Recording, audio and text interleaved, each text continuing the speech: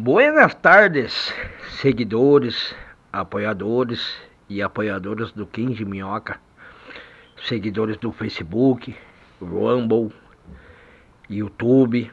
O pessoal tem enviado muita mensagem no privado e pouquinho para o Caspescas.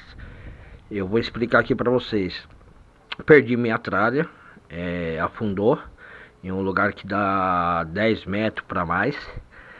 É, um amigo um amigo que é mergulhador não achou também. Falei, ah mano, desencana. Vambora pra frente, erguei a cabeça. A pesca é minha terapia, mas também tem que saber a hora onde está o perigo, onde vale a pena arriscar ou não. Por causa de um bem material, não vale o risco também. E o lugar é não tava legal para procurar. Então acabei pegando uma carretilha para mim e graças a Deus a um novo patrocinador de Camboriú, ganhei uma outra carretilha. Ele está despachando hoje, deve estar tá chegando no prazo de uma semana ou menos, como chegou essa daqui agora, a que eu comprei, né?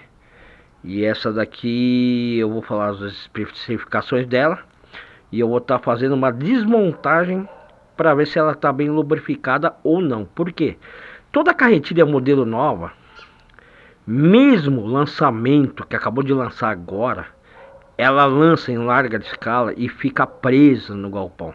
Você não sabe a temperatura, o local, as micropartículas de poeira, é, mesmo bem embalado, a, altera a graxa, o óleo e você não tem o 100% do rendimento da sua carretilha.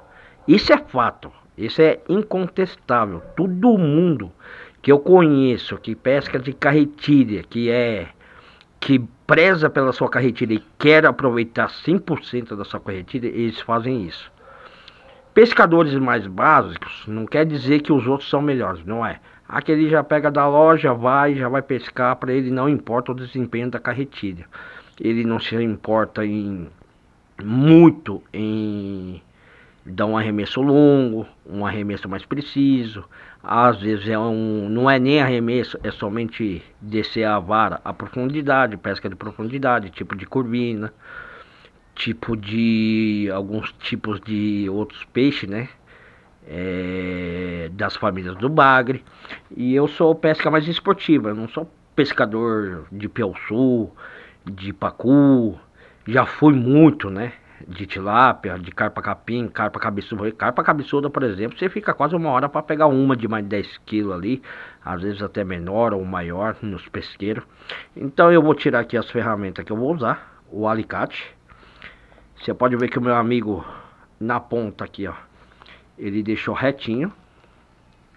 Deixou retinho e fez um furo aqui para me tirar o pino do carretel ele não entorta. É bem melhor do que aquela chavinha de você rosquear e querer tirar o pino, que aquele ali já entortou pino aí com, na mão de muita gente. A faca, a chave Phillips, que pra mim serve para toda a carretilha, e o menor pininho que eu tenho para tirar a arruela de pressão dessa carretilha.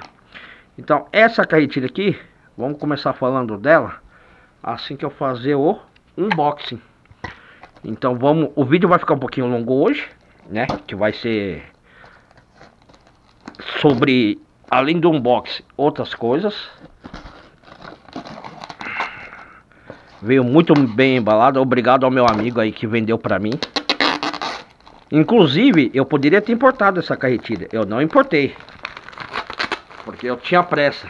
E a diferença de valor não foi muito. Eu ainda ganhei 50% de desconto, ainda ganhei 50 reais de um, patrocin... de um patrocinador, não, de um seguidor do canal para estar tá ajudando aí. E aí eu escolhi esse modelo. Eu vou estar tá mostrando o primeiro modelo para te explicar o porquê que eu escolhi essa. Ela vem muito bem E veio um brinde, cara. Olha, vamos falar do brinde. Olha, pra trair, hein? Turbo Cias, Sapinho Turbo, Crank Frog. É, esse meu amigo aí mandou muito bem, viu? Falou que ia mandar mesmo um presente, ó. Pra pesca de traíra. Esse não é bem um frog, mas faz o papel do frog, tá? Ele parece mais um ratinho, alguma coisa assim. Mas ele é emborrachado. Pela espessura parece ser mais reforçado do que esses que vende aí em casa de pesca. É claro que existem casas de pesca que vendem iscas melhores também. E o anzol não é muito grande. E a ponta eu tô vendo que é bem mais afiada do que os outros frog que eu já tive. É claro que eu já tive outros também que são maiores, menores. Muito bom, gostei. Anzol preto. Uma chumbadinha aqui. Normalmente é só anzol, né? Gostei. Muito bom para pescar traíra. Vou testar sim. Essa, essa daqui deve pesar, essa isca. A gente já vai tirar a prova já já. Vamos botar aqui. Vamos ligar. Vamos dar um tare para zerar, confirmar. 9 gramas? Nem parecia 9 gramas, hein? Rapaz, vou deixar esse skin aqui de enfeite. Vou tirar a balança. Vou tirar a bainha da faquinha. Vou tirar a faca agora que eu não vou precisar a caixinha da isca artificial e vamos para que mais importa, a carretilha. Todo pescador quando pega uma carretilha já quer ir pro rio, né? Mas tá ventando muito forte, o tempo tá escuro, tá meio perigoso. Então hoje vamos tentar manter a calma aqui, sossegar o, o, o tubio, como dizia aqui amanhã. Essa daqui é uma categoria CST da Cast King, é, modelo Zephyr BFS, carretel de pino curto. Olha como vem bem embalado. Presa a manivela. Vem o adesivo que já vai pro caiaque, mas o caiaque eu tô Bom, eu não posso falar do caiaque ainda que é uma surpresa, tá?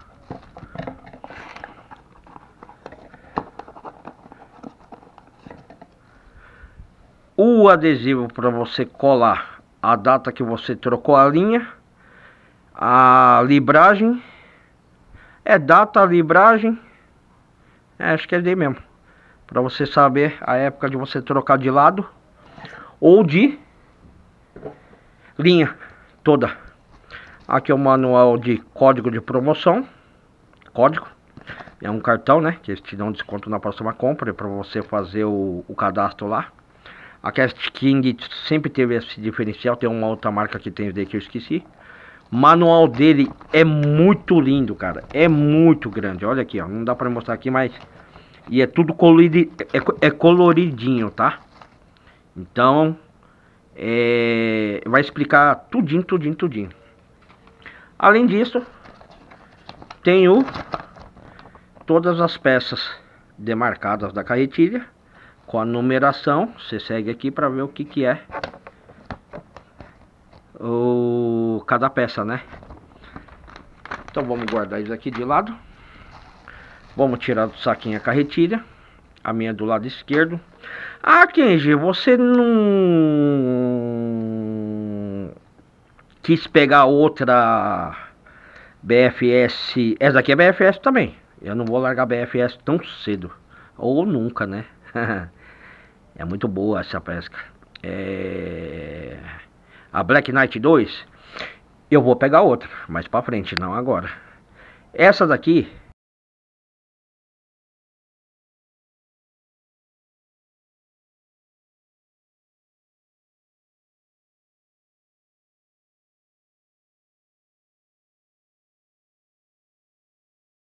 Mas ela é mais ou menos 160 gramas contra 135 então são 25 gramas a mais.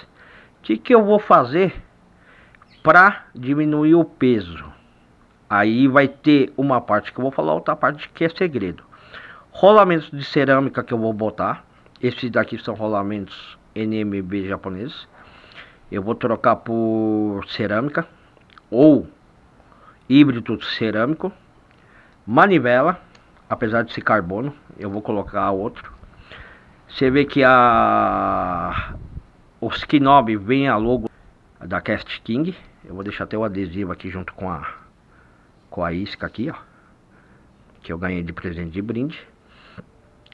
E eu troquei mais por essa porque essas aqui não tem ninguém reclamando dela no Brasil, nos Estados Unidos, na Europa, em nenhum lugar.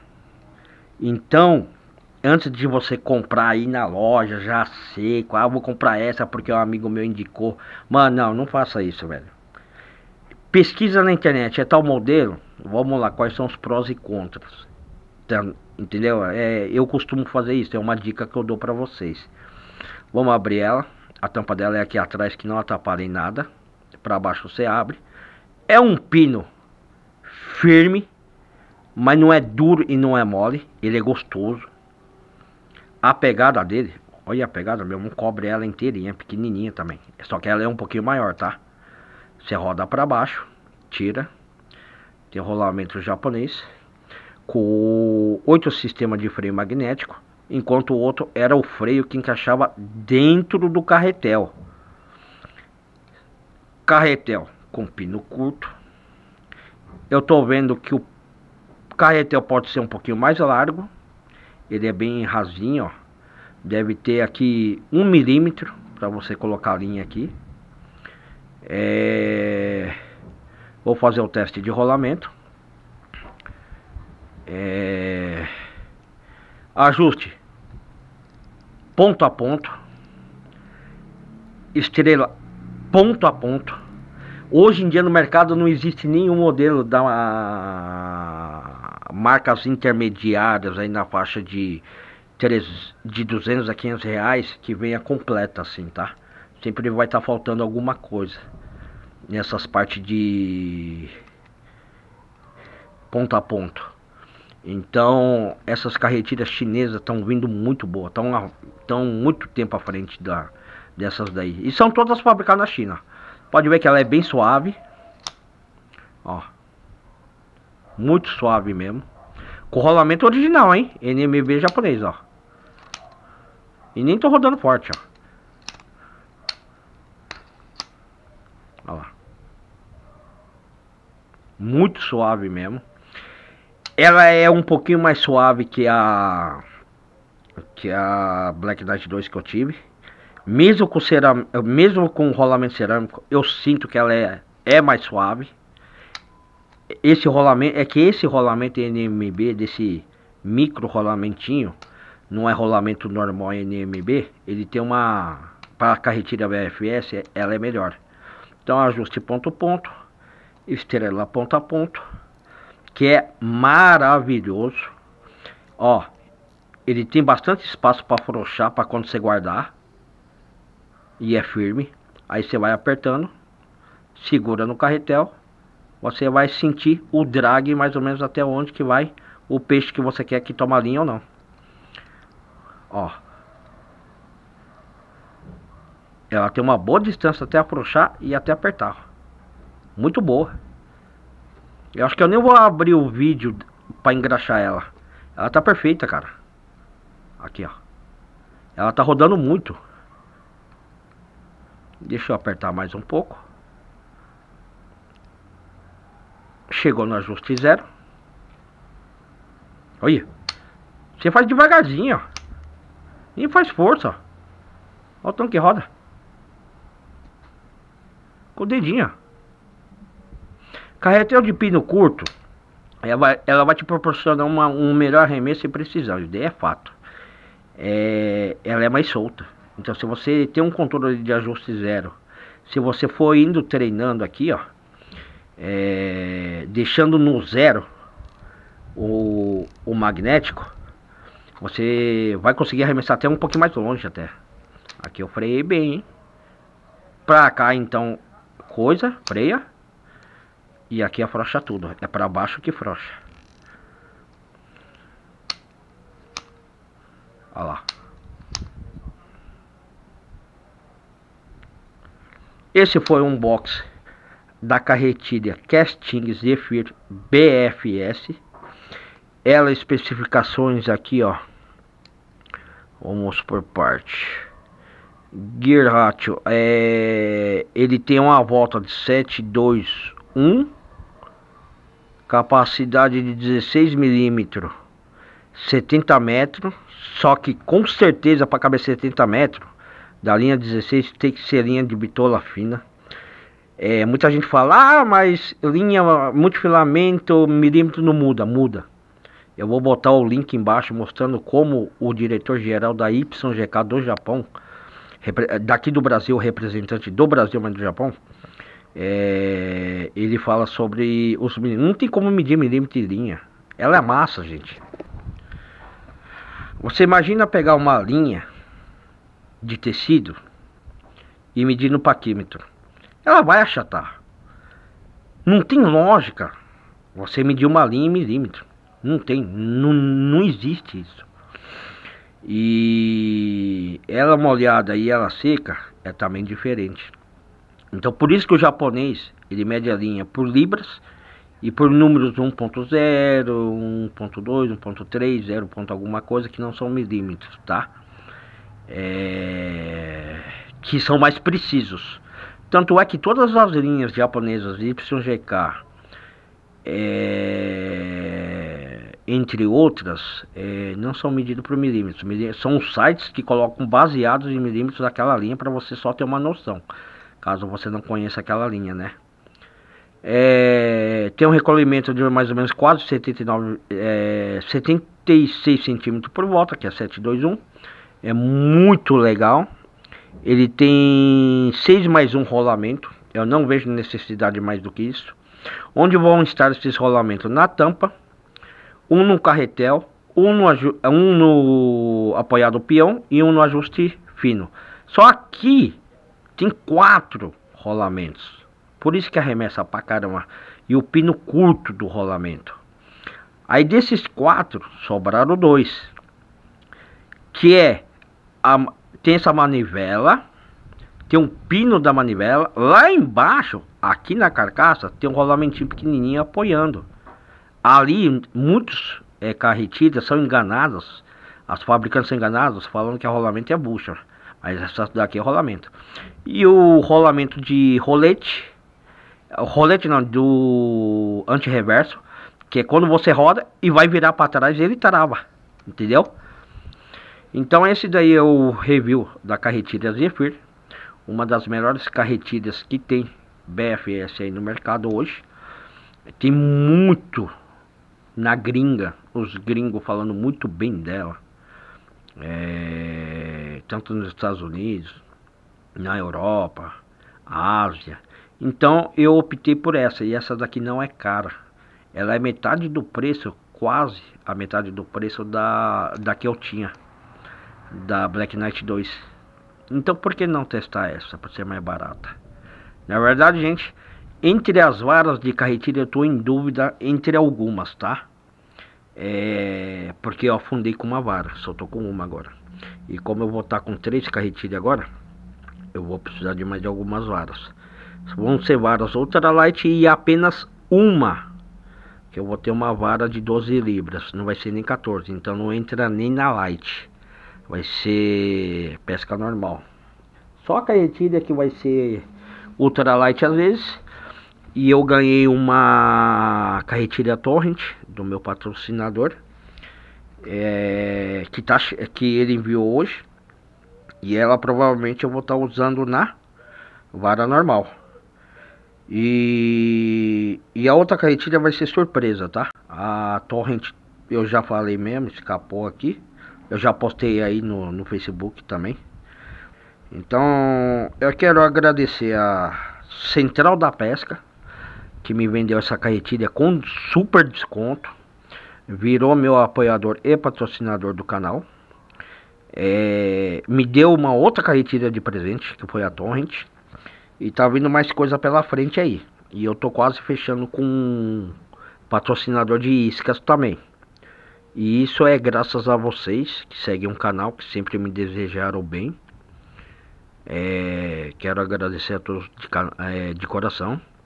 Quero agradecer os apoiadores, as apoiadoras do canal, quem de minhocas, as pessoas que me mandam mensagem até a noite, quase de madrugada. Pô, quem você parou com, com os vídeos? Não é, que eu perdi meu material, gente. Então depois de amanhã, amanhã ainda vai estar meio ruimzinho o tempo, aí eu vou estar testando essa carretilha aqui, eu vou estar colocando uma linha nela. Provavelmente uma linha entre 14 e 16, pelo porte dela. É...